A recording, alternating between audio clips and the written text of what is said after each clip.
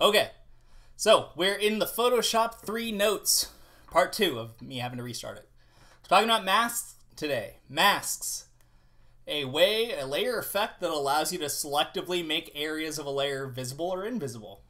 Very simple. So we look into Photoshop right now, have this mask on SpongeBob, and if I disable it, you'll see right underneath is all the image information as before.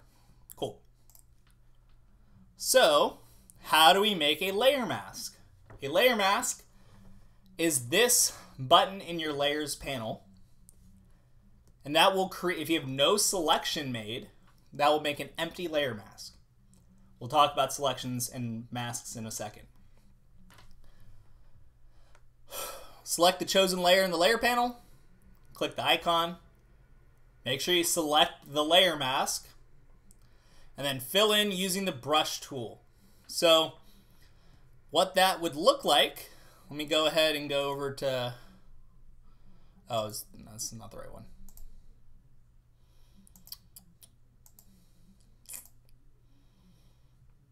All right, I'll just delete this mask. Okay, anyway. So now I got my Dirty Dan. If I press this, you'll see that there's just this little white thumbnail that comes up. This is my layer mask.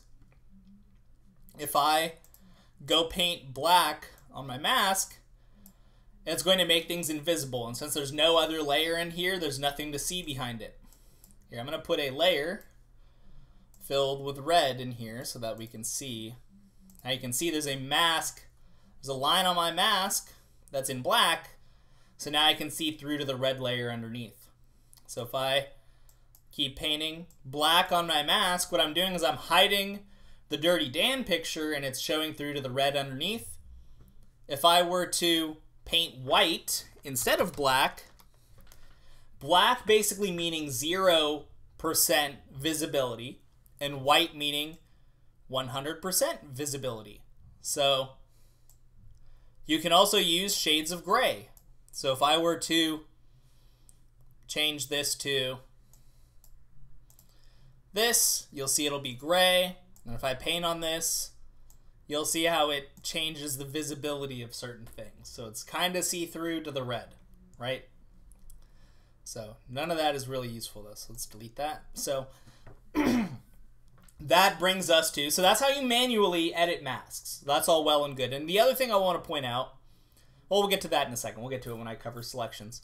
So now let's talk about selections and how we can use those to help us mask also. So selections are in and of themselves important, but mostly use them as a means to an end, so to speak. So looking at our selection tools, so this is our move tool. Let's start with the basic selection tool, the rectangular marquee tool. The rectangular marquee tool drags box. Pretty straightforward. Okay. If I want to deselect or get rid of my selection, it's Command or Control if you're on Windows D. So that gets rid of your selection if you mess up your selection or you don't need it anymore. So I get rid of it. So that brings us to um, the other thing that's on the notes here is about the elliptical marquee tool. And it says the keyboard shortcut is Shift and M. So Shift M allows you to cycle through your marquee tools, which are under the keyboard shortcut M. Uh, hold on. Sorry, video. I'm not going to restart.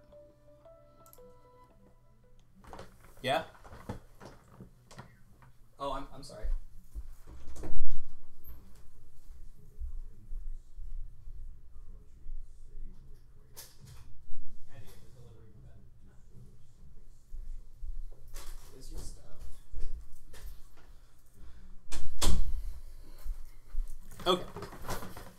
Okay, sorry, sorry, video, and sorry to my class that I've been getting up. I'm like, I'm like legitimately sorry. Okay, um, that was on me. I locked my roommate out. Um, so Shift M. So that just allows you to cycle through your marquee tools. No, not Maya. So if I do Shift M in here, you'll see it brings me into my elliptical marquee, which is just a circle shape, an oval, so to speak.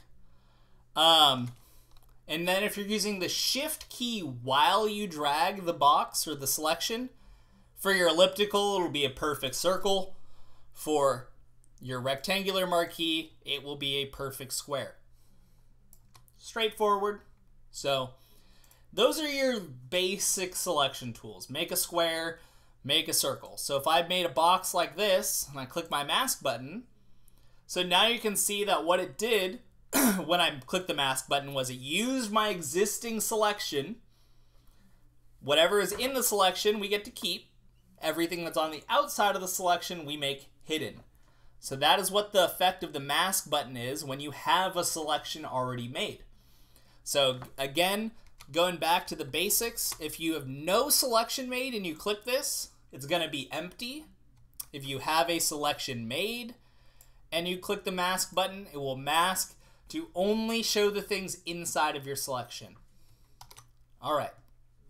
Now, let me go back to the notes here.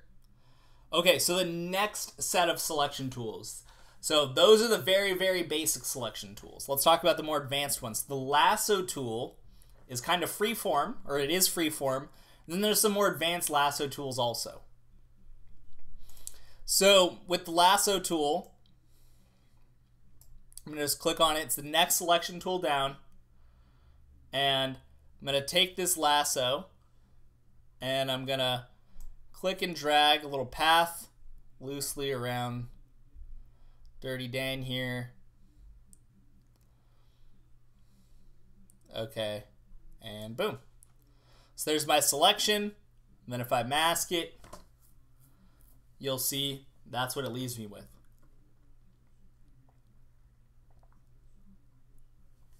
Okay, so that's the basic lasso tool. Not super useful. It has its moments. So let's talk about the more advanced selection tools, or lasso tools rather. Polygonal lasso. Clicking places a point and connects it to the next point in order until you connect back to the start. So let's take a look at how that works. Click and hold this polygonal lasso tool, or you can use Shift L to cycle through them. It's up to you.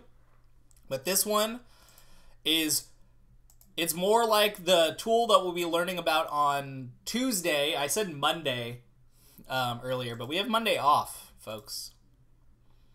So, shouts out to the great MLK. So, you can see here I'm clicking to place these points, and that's what's making my selection. I'm clicking and placing a point, and then it's drawing a straight line to the next point that I place. And then I'll come across here, boom. I have this big selection, mask, boom. All right, so that's that one. And then finally,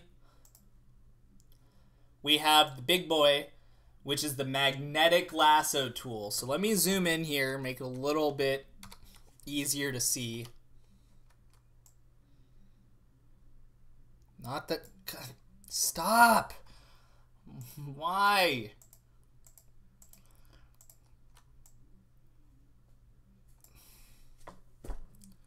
I can't do it. I can't do any scroll drag gestures while I'm doing teacher things because my computer lags too much for it to have fine control. Okay. Whatever, dude.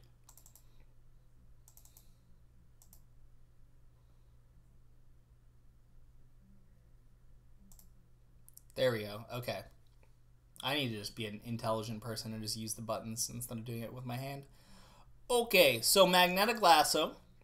So basically, I'm gonna click down here, and you'll. I'm just gonna follow the outline, okay? And you'll see that Photoshop is figuring out for me what I'm trying to select based on where I'm dragging and the contrast of the colors around which I am dragging.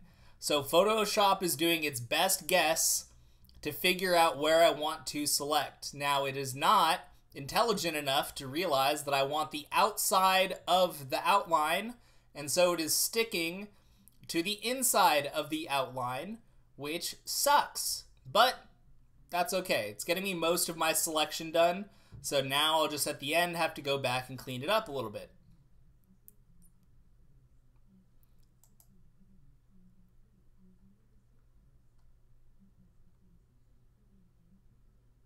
And uh, you can also click to lay down points if it's not figuring it out. And I'll click back to the start, and you'll see once you click back to where you started on this, it will complete your selection. And so now, if I mask this, you'll see I'm left with Dirty Dan.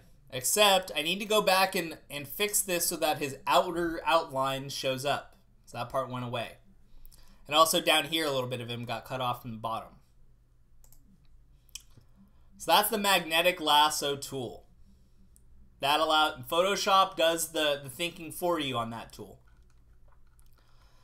Okay. And finally, quick select tool and then the racist uncle wand. You'll see why I call it that in a second. So, quick select wand.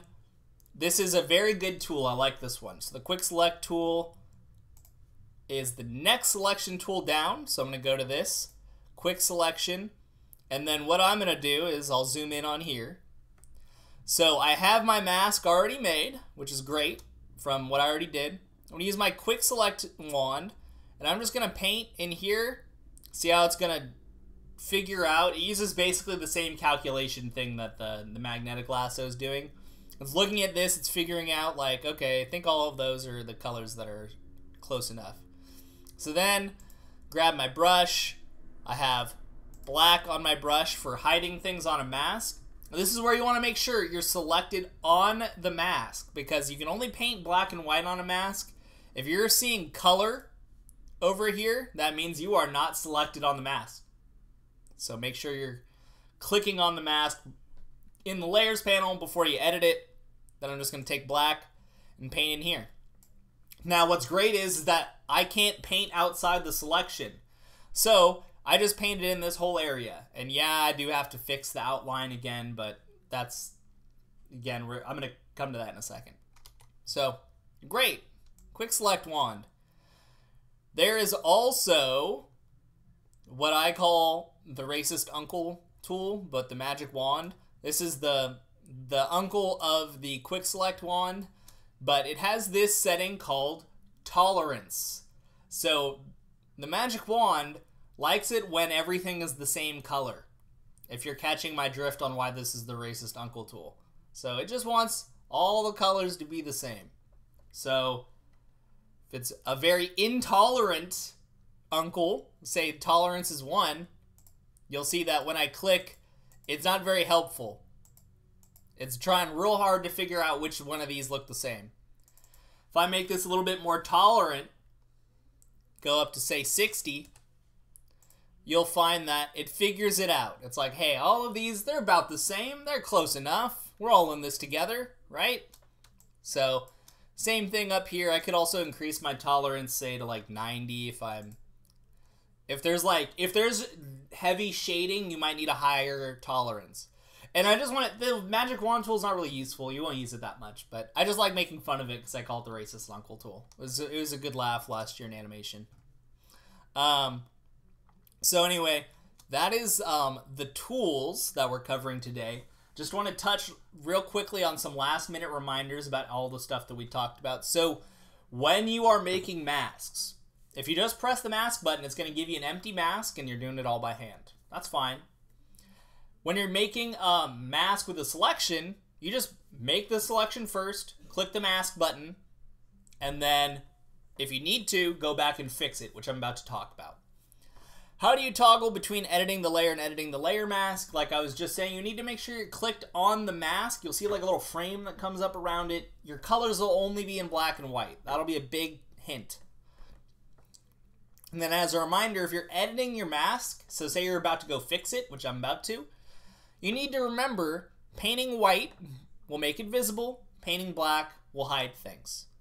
So going back to this, the assignment is going to be to take these two pictures. So we got Dirty Dan and Pinhead Larry. And you just need to remove the characters from the background. So you only want the characters visible. All, the characters are the only thing left visible at the end. No background. And then I will say that if you want, you need to you will be no matter what submitting two completed masks. you are submitting two masks to me. You may, if you if you wish, only do one of the ones I have assigned and one other thing. As long as you run it by me of like if you have a character from like Gumball or Chowder that you want to mask or whatever, like that's fine. Go do that. Just let me just ask me first if you wouldn't mind. Um, but yeah, you'll be submitting two completed masks for this assignment. Two. Dose. And then you'll have another one coming with the Monday assignment, just as an aside. So I'll be making three total masks, but two for this assignment. Two assignment, two masks, this assignment. So going back to Pinhead Lair or Dirty Dan here, you'll notice that I have to go back. I put this red under here just to make it easier for you guys to see. You don't need to do this, but so I'm on my mask. I have the little frames around it. I have black. I want to be painting white. And so I'm going to make my brush a little smaller. And I'm going to paint my white. And I'm just on the regular good old-fashioned brush tool. So, you know, settings for hardness and size are up here too.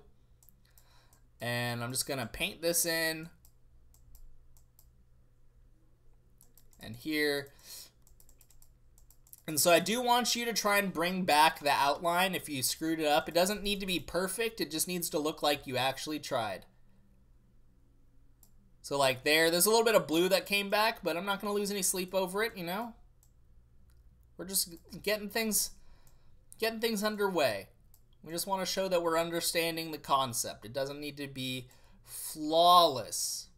Okay, but you need to try. So Like there, I left a little blue back in. These things happen. Great. Come back over here. Don't be sloppy though. So like, here, I'm going to do this real quick and then I'll just zoom in over here. It doesn't have to be perfect, but it shouldn't be sloppy neither. So I'll just get this. Okay. Etc., etc. But yeah, you'll be submitting your two completed masks. Use both my images or one and then do another. Um, but that's it for the assignment. Thanks for watching, folks.